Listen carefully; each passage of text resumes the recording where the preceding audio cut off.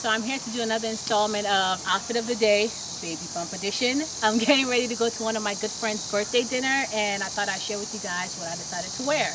Um, my dress is a, um, I don't know how to describe this. The top part's like a wrap thing and it has like a little button if you don't want to show too much cleavage.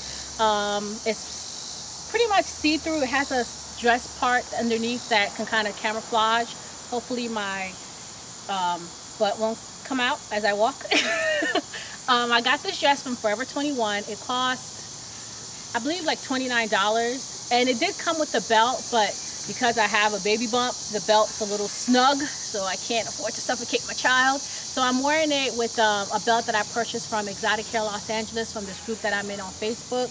Yes, you know she also sells hair and she has a, a vintage boutique store and the belt was about $7. So it came in handy because it really goes with the dress. Um, as far as accessories, my necklace is from this jewelry store online. I can't remember the name.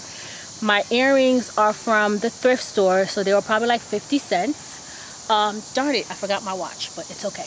I have this clutch that I also purchased from Forever 21. I think it was about $26. As far as makeup, I just did, um, I used Urban Decay's Naked Palette and just did a light eye with a dark corner, some lashes, and I just used my um, Makeup Forever HD tinted moisturizer primer that they sell with some light powder and blush and highlighter. For my lips I have Currant Lip Liner, NYX's Natural Matte Lipstick, and Dreamy Lip Gloss from MAC.